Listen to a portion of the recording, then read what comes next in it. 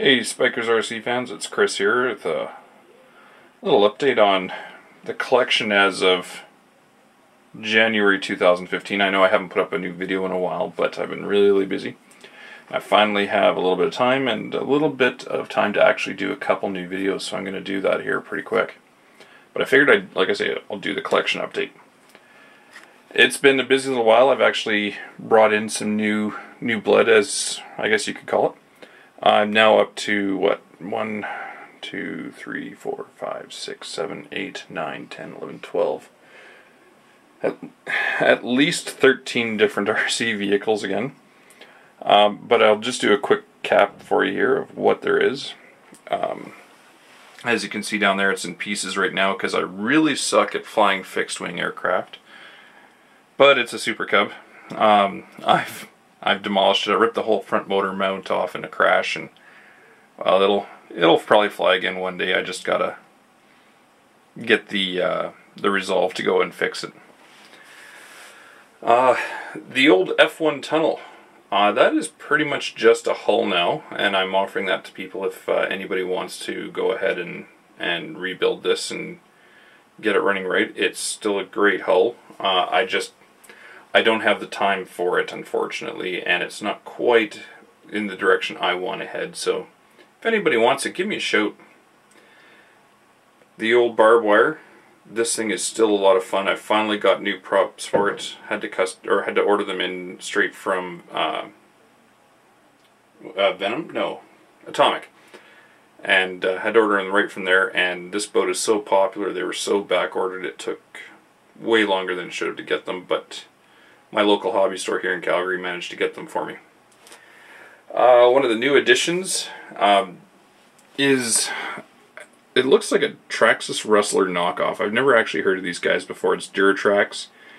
It's an old brushed Rustler, for a lack of a better term. It, it looks like it shares a lot of the same parts. Doesn't quite, but yeah, uh, again, this one I don't know what I'm going to do with yet. It's probably going to get donated to somebody or something along those lines.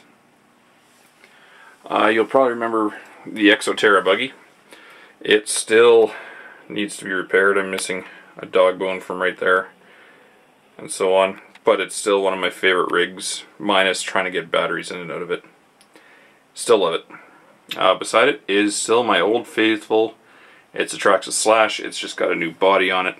Um, it's a Volkswagen Beetle body should be fun to play with. And if you'll notice on the hood, there is a little tiny micro quadcopter thing. Um, it's made by Estes. I can't remember the actual um, name of it, but it's a fun little quadcopter. Man, is it ever stable. And apparently I'm missing a prop off it. I'll have to put a new one on there. It came with spares anyway, so not a big deal. Uh, beside that is another new addition. It is a Losi Mini 8T. It's the Truggy version. Um, it's still brand new. I've just taken it out of the box. I haven't even put a battery in it yet to to uh, drive it around. But from the research I've done on them, these things are an absolute blast and a beast to drive, so I can't wait to do it. Uh, my old Rustler. I still like it. I've put some sand tires and snow tires, whatever you want to call it, on the back. But now my problem is, is that we've had too much snow and I, it's having a hard time getting around in the snow. But when I have a feeling when the snow melts a little bit or we get some compaction, this thing is going to be a hoot. Next to that, my big ol' 1 8 E Revo. I'm still looking for a 1 8 system, brushless system to put in this. I think I'm probably just going to order the one from Tower Hobbies and I'll do a build video on that soon. My old SCX-10. You guys know and love that one still. So do I. And a new addition is a Summit. I have some rebuilding to do on it. I've already taken it apart a little bit in preparation for my next video. Stay tuned for that.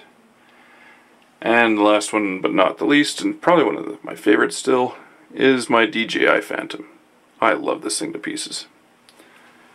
Anyway, that is my collection, and I hope you enjoy. I'll talk to you later.